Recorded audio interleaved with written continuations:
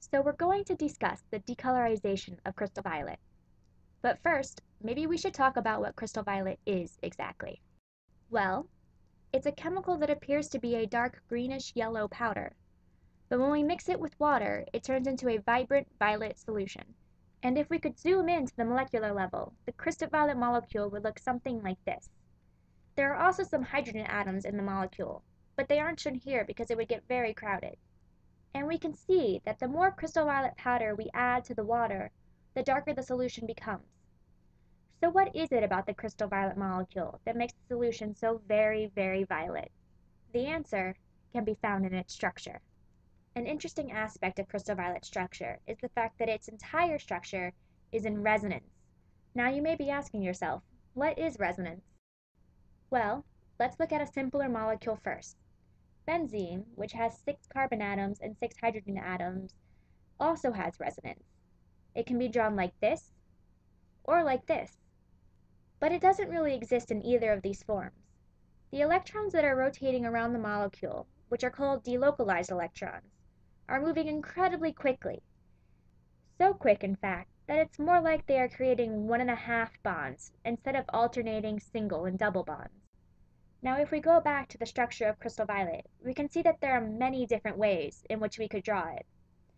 Crystal violet has so many delocalized electrons that it's actually able to absorb light in the visible spectrum. That is why crystal violet is violet. But you don't have to take my word for it. We can actually measure how crystal violet absorbs light in the laboratory using an instrument called an ultraviolet visible spectrophotometer. So let's do that. First, we have to put some of our solution into a cuvette.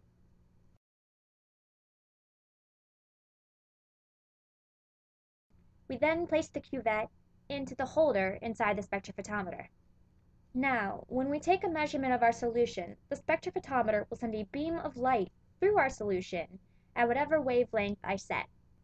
For this experiment, I have set the wavelength range from 290 nanometers to 700 nanometers.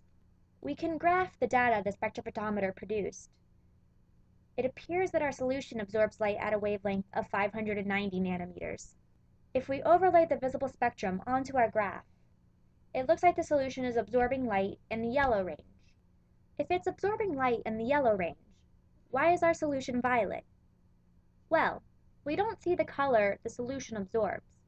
We see its complementary color. And the complementary color of yellow is violet.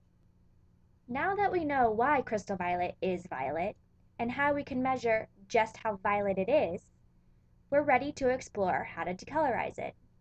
So again, the answer lies with its structure. As we discussed before, the electrons are moving throughout the entire molecule very quickly. However, the electrons are not spread out evenly. Since the nitrogen atoms on the outside of the structure have a higher electronegativity they pull the electrons towards them and away from the center carbon atom. This leaves the center carbon atom with a slightly more positive charge. The positive charge of the central carbon can now attract a chemical species that has a negative charge. Of course, the crystal violet molecule won't react with just any species. It has to be a reactive species. A chemical species like hydroxide reacts beautifully. When the hydroxide ion comes close to the central carbon atom, they react to form a covalent bond.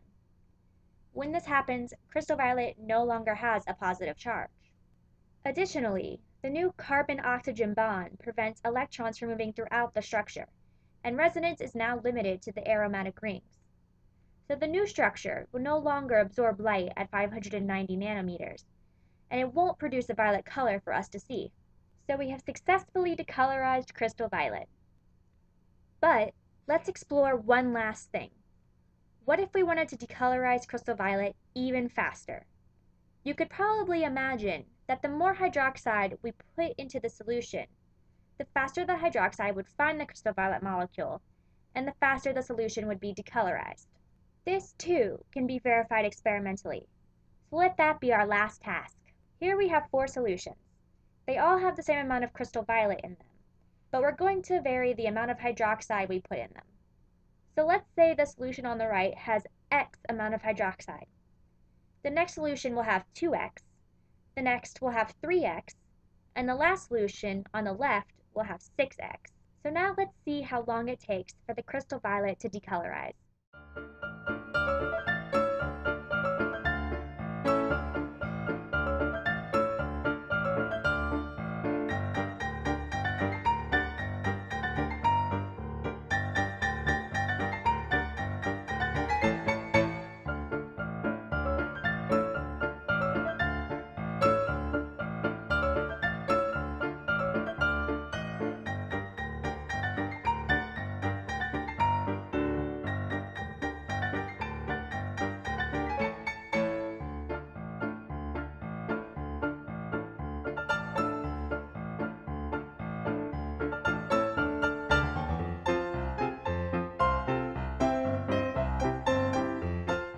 Summary, crystal violet appears violet because the resonance in the structure allows it to absorb light in the visible spectrum.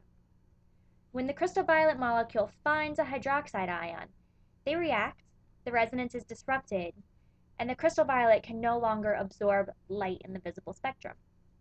Therefore, it's decolorized.